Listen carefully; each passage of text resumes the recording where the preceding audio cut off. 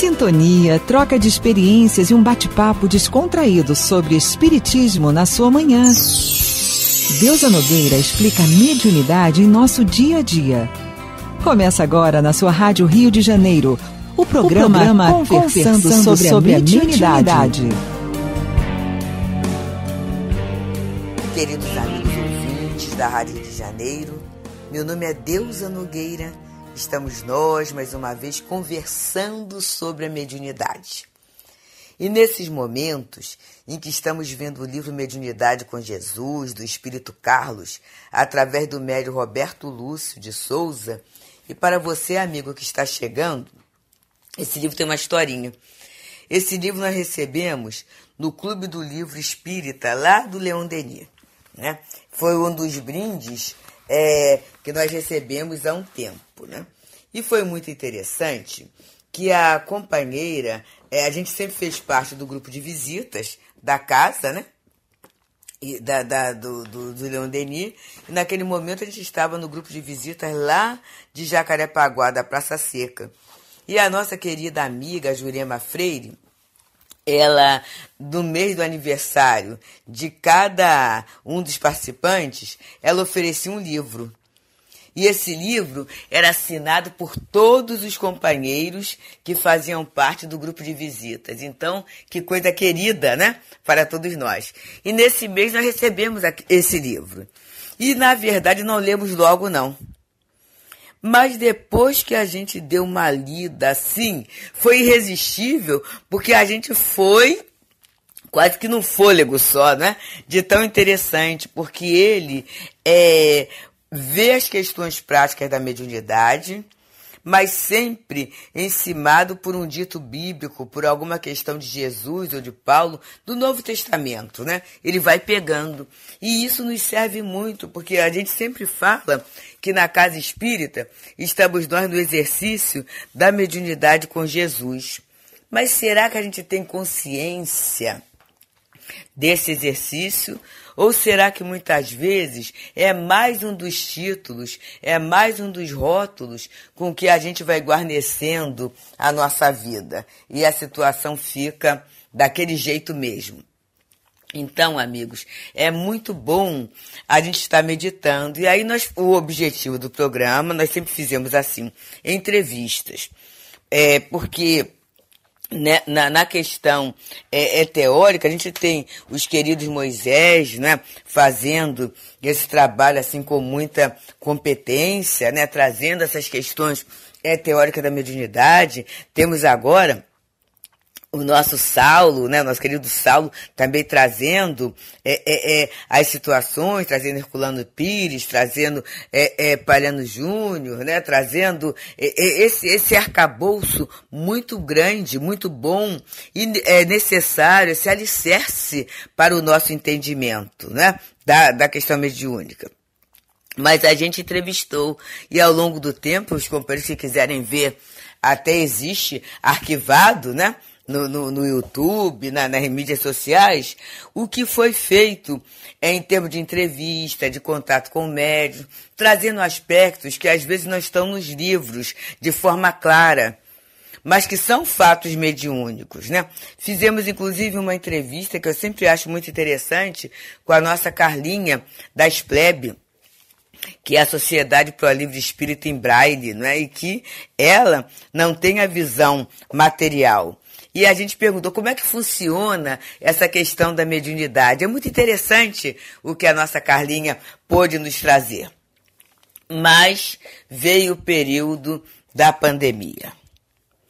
E nós espíritas somos disciplinados, né?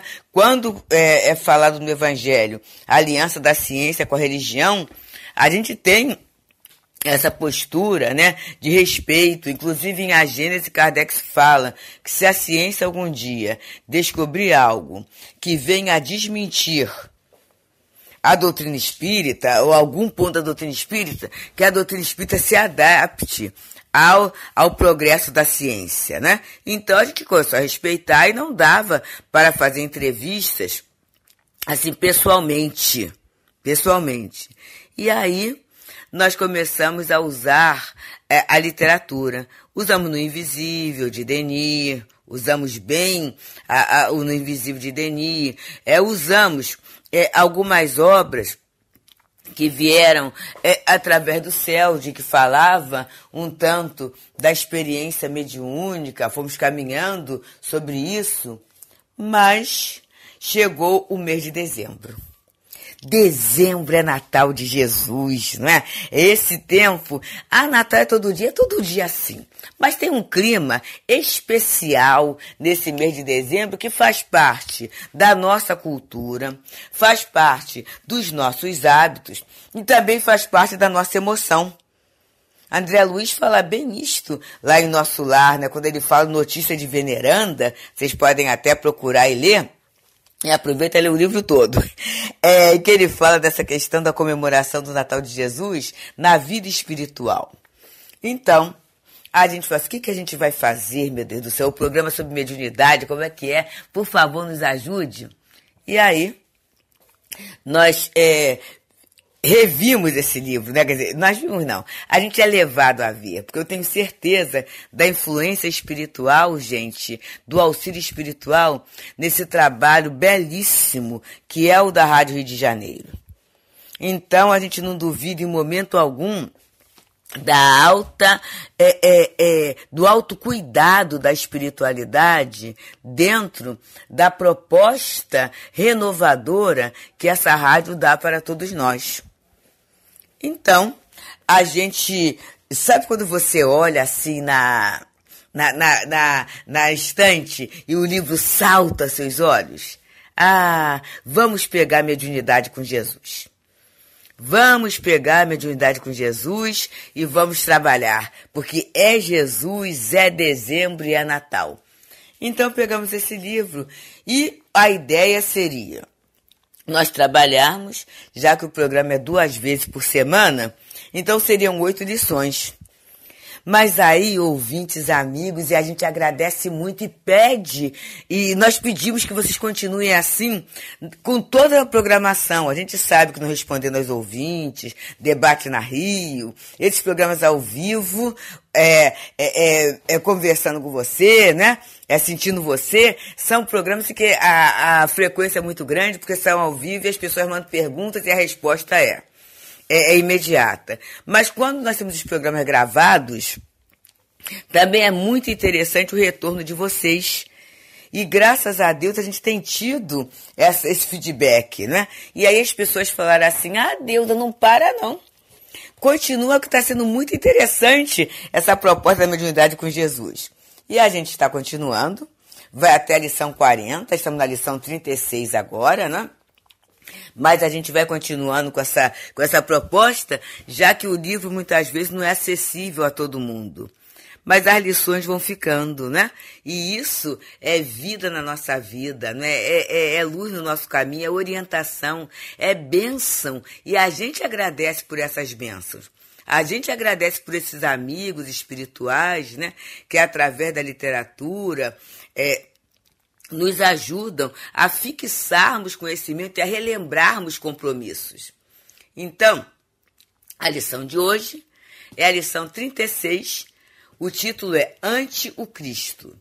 E o dito bíblico, que o nosso querido irmão Carlos é, trabalha, é uma fala de Jesus, anotada em Mateus, no capítulo 28, versículo 20, em que Jesus fala assim: e eis que eu estou convosco todos os dias, até a consumação dos séculos. E ele começa dizendo assim: A fala do Cristo aos seus discípulos, quando da segunda pesca maravilhosa, conforme narrativa de Mateus, é de extrema importância para toda a humanidade. Parecendo, do primeiro momento, simples promessa do Senhor para os seus seguidores, ela reveste-se de imensa verdade em todos os tempos. Acreditam muitos que essas palavras referem-se ao novo advento do Cristo, quando então ele reuniria todos os que o aceitassem. Esses fecharam-se a um ângulo de visão bem maior, porque alguns companheiros têm essa interpretação, né? Que Jesus vai voltar e vai reunir aquelas pessoas que verdadeiramente o aceitaram, né? E aí tem separar os bodes das ovelhas, há toda essa esse entendimento de alguns companheiros é, é, que do cristãos de alguma de uma grande parte da cristandade, né? E aí o espírito Carlos, como todos nós, respeitamos a visão desse companheiro, a visão desse irmão.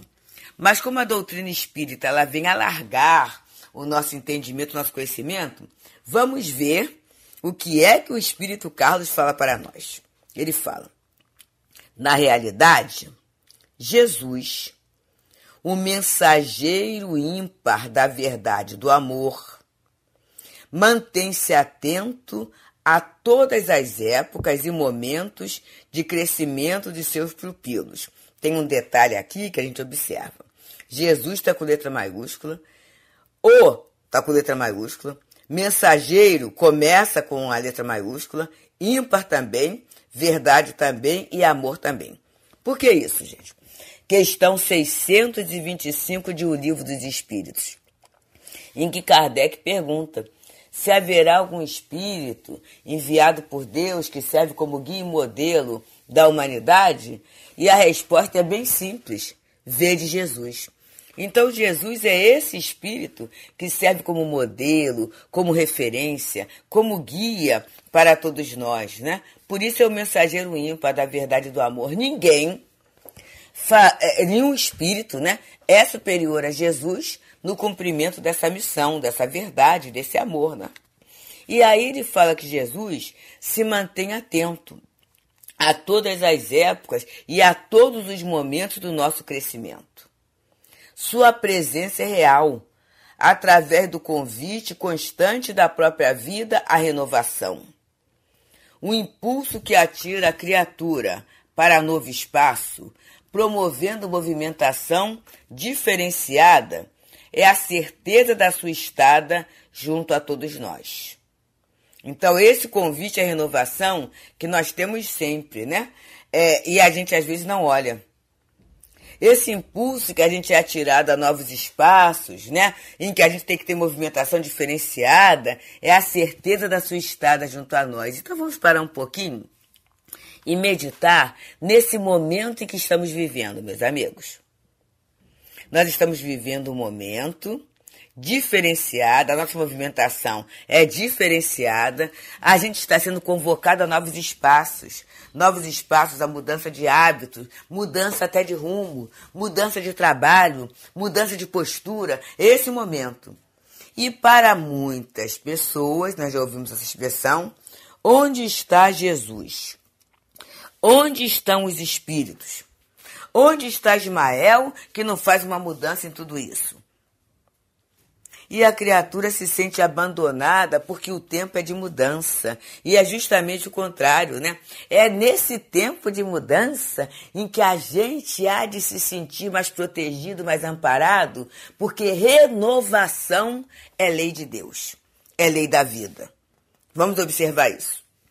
Bem, queridos, estamos nós aqui pelas ondas queridas da Rádio Rio de Janeiro, que esse ano está no seu jubileu de ouro no programa Conversando sobre a Mediunidade.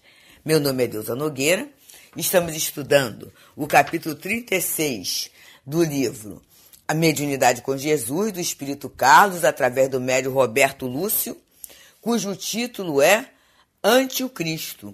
E ele está analisando um dia, uma fala de Jesus, anotada por Mateus, em capítulo 28, versículo 20, que é Eis que eu estou convosco todos os dias até a consumação do século. E ele vem analisando essa forma equivocada de entendimento em que a gente muitas vezes pensa na volta de Jesus. Muitos cristãos pensam nessa volta material, materializada de Jesus. E ele está dizendo né, que é respeitável esse entendimento, mas isso é uma limitação que a gente muitas vezes se autoimpõe, né? E ele coloca assim, né? É, Para muitos, né, a permanência de Jesus estaria circunscrita à manifestação de seus discípulos, ao pregarem e ensinarem seu nome, fazendo então a manutenção e a lembrança de suas falas e o exemplo. Então, muitos de nós mesmo, da nossa comunidade cristã, a gente não acredita na presença real de Jesus em nossas vidas. A gente não acredita nisso. Então, não, é através da leitura, né? É através. Por quê? A gente mede a potência do outro pela nossa limitação. Se a gente é limitado, o outro também há de ser limitado. E a gente fica né, nesse, nesse movimento, nesse movimento que é, na verdade, a limitação da nossa imperfeição, da nossa imperfeita compreensão do amor, da beleza, da atuação de um espírito superior, né? Dessa dessa grande abertura. E aí ele começa a dizer assim: a mediunidade talvez seja a mais materializada certeza do cumprimento da promessa crística. E, meu Deus, como é que é isso? E a gente vê muitos companheiros falar assim, não, mas Jesus é, não, não, não, no passe, então, é uma complicação, né? Jesus não deu passe, né? Jesus é, é, não teve nenhuma expressão assim, ostensiva de mediunidade, e Kardec até fala que não foi assim, né? Se, porque não havia nenhum espírito gravitando no planeta que pudesse mediunizar Jesus. Porque a gente sabe que para haver a mediunização, é perispírito com perispírito, tem que estabelecer uma, uma, uma afinidade vibratória, né? Em Jesus, qual é o espírito que teria o perispírito é, semelhante ao dele? A gente sabe que não, né? Então, é, Kardec fala lindamente lá na Gênesis, se Jesus foi médio, ele seria o médium de Deus. Né? É essa a proposta que tem. Mas ele está falando aqui que a mediunidade é a, a, forma mais materializada do cumprimento da promessa crística. Que promessa foi essa? E eis que eu estou convosco todos os dias até a consumação dos séculos. Então vamos ver como é que o nosso espírito Carlos desenvolve essa afirmação dele. No entendimento que, de forma mais ou menos ostensivas, Todos nós carregamos o germe da mediunidade. Compreenderemos que através desses canais teremos a possibilidade de contatarmos com as verdades divina, divinas, desculpe, a irradiarem-se por todo o universo. Meus queridos, quanta realidade chega até nós através da mediunidade. E vamos pensar que a própria doutrina espírita, a própria codificação feita por Allan Kardec, ela não é fruto, e a palavra codificação já é bem autoexplicativa, ela não é fruto da ideia de um intelectual que foi colocada no papel. A nossa doutrina, ela é baseada em fatos. Ela é passeada na observação de fatos. E esses fatos foram é, é compilados, foram comparados, analisados e se chegou à conclusão através da universalidade das informações. Vários pontos, vários países, vários médiums que não se é, é, comunicavam entre si, porque naquele momento, né, a comunicação ainda era um tanto lenta, não era com a velocidade de agora, dizendo as mesmas coisas. Então, isto é o que está lá no Evangelho, a universalidade dos ensinos dos Espíritos. E assim, foi feita a codificação. Se não, e a gente vê hoje, né, algumas, alguns pensamentos, alguns corações querendo excluir a mediunidade do, do, do movimento espírita, do entendimento espírita. E aí a gente começa a pensar, não é, que sem a mediunidade não haveria doutrina. E se a lei é de progresso, e se a mediunidade está na lei de Deus, qual é o homem que vai poder modificar a lei de Deus? Tem o dito bíblico, até as pedras falarão, né?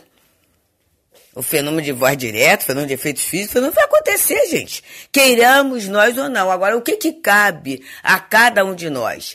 A análise do conteúdo dessas mensagens. Paulo de Tarso já falava assim: examinai tudo, retende o bem. É essa a postura nossa, não é? De análise, e para isso eu tenho que estudar a doutrina. Então, a mediunidade, ela vai trazendo essas verdades divinas. E é interessante que essas verdades divinas, elas vêm através de vários canais, com vários nomes. Não é só na casa espírita, não. Graças a Deus, não é só na casa espírita. É em vários pontos, em momentos diferentes, em culturas diferentes, mas aí você vai analisar assim, parece até que copiou da doutrina espírita. E é claro que eles também, onde analisavam assim, parece até que copiou da minha doutrina, porque a verdade é divina. Não é uma verdade que esteja limitada pela posse humana, pela, pelo entendimento humano. Não, é divina. E ele continua dizendo assim: dessa forma, o Senhor Jesus não nos desampara. Sua promessa não exige um recurso externo de modo a realizar-se nosso íntimo. Exige sim nosso aprimoramento, transformando nossas antenas rudimentares em instrumentos preciosos para o encontro com Ele. Então é esse aprimoramento que é o aprimoramento moral, não é? É a nossa visão coerente. É a nossa vivência como diz Leon Denis no problema do ser e do destino, quando ele fala da disciplina do pensamento e a reforma do caráter. É necessário viver a nossa crença. É o que Paulo diz, eu posso falar a língua dos homens e dos anjos, mas se eu não tiver caridade, se eu não tiver esse amor, esse movimento, nada disso vai me aproveitar. Então, é essa situação em que eu estudo a doutrina e vejo nela um poderoso elemento para alavancar a minha melhoria moral. É isso, né? Então, é, é, é, a gente vê que a gente não é desamparado, né? Mas a gente tem que se aprimorar para cada vez ter um vaso mais limpo na recepção dessas verdades libertadoras. E continua o espírito. A partir daí, viveremos sob sua guarda, quer dizer, sob a guarda de Jesus, né? Na proporção, na proporção que nos propusermos a segui-los em atitudes, transformando-nos também na realidade da, de, da promessa a outros, ainda retardatários na caminhada. Lembremos uma vez de Paulo que diz que somos rodeados por uma grande nuvem de testemunha. Muitos espíritos nos se apresentam junto a nós né?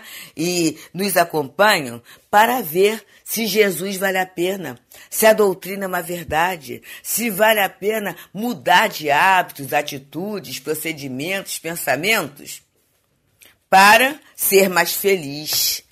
Se a doutrina é um pouso de felicidade em nossas vidas. E isso é o comportamento que vai mostrar, né? E ele encerra dizendo para nós: tenhamos a certeza, a promessa se cumpre.